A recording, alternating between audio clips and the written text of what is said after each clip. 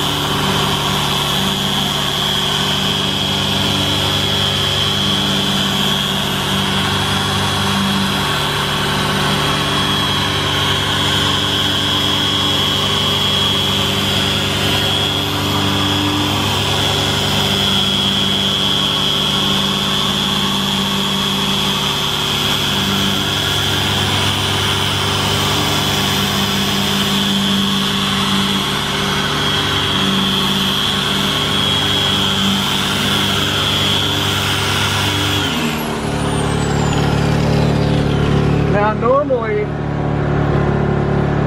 I'll just do two to three passes. I did that last, that fourth really quick pass just because I put a little bit much polish on from the beginning. You can already see huge difference. Is it 100%? Not at all. In fact, it would probably take me one more round of polishing to get that better.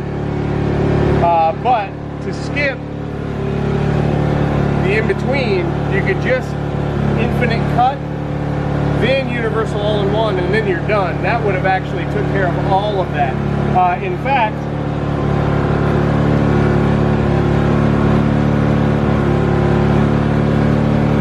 I'll go ahead and put that tape back there. Real quick, hold on.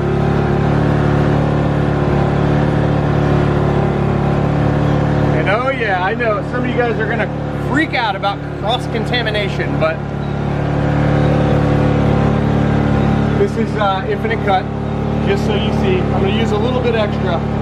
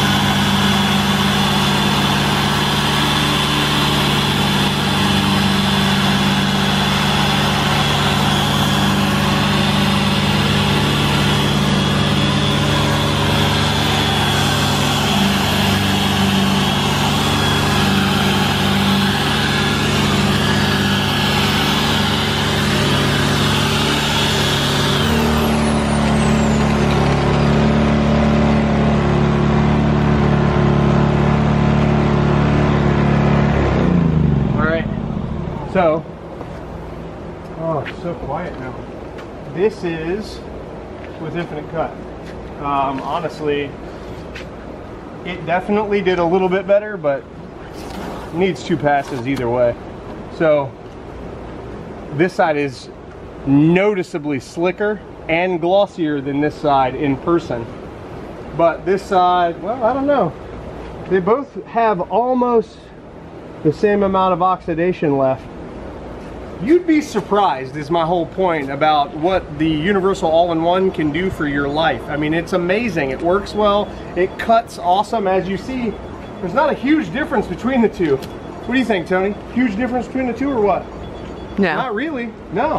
And one was a compound, one was an all-in-one. So the answer is, as I'm looking at it, yes, there's a little bit less oxidation here, but you'd be hard pressed to see it. I think two passes with this would have cleared that right up. But anyway, Universal All-in-One for my brand new One system, superb product. And I can tell you this, I have tried pretty much every all-in-one on the market. This is the most versatile I've ever found, but I had to create it myself. I mean, that's what you gotta do sometimes. So it is what it is, Universal All-in-One, one system, awesome. Thanks for watching guys, have a great day.